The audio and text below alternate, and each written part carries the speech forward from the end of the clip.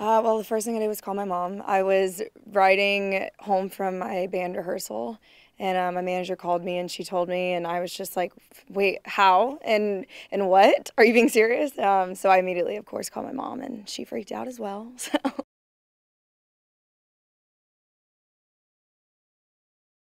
Uh, it's an honor. I am pretty new to this still, so um, it's surreal being here. And I grew up thinking I was going to be an accountant. So the fact that I'm nominated for two CMT awards and I've not even been able to attend as a guest yet, you know, like this is my very first one. So um, it's just really exciting.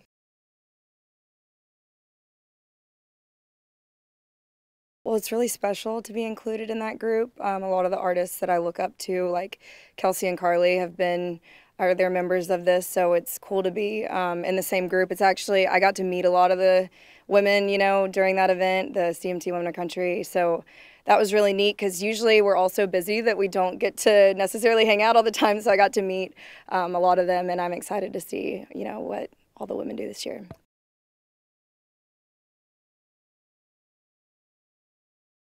Well, it's my first performance on TV, mm-hmm. so I'm a little nervous, but um, I'm excited. Um, this song obviously has changed my life, and um, I love performing it. It makes me happy, so um, yeah, it'll be great.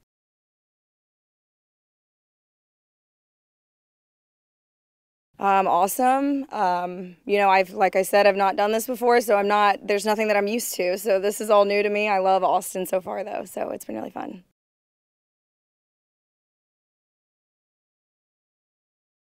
Um, well, I would tell my younger self to dream bigger because, you know, I, you know, grew up thinking like, oh, this is just what people from where I'm from do. And this is just, you know, and um, I have a real passion for songwriting and country music. So, um, yeah, I would tell my younger self to dream bigger and that, you know, dream bigger than doing taxes.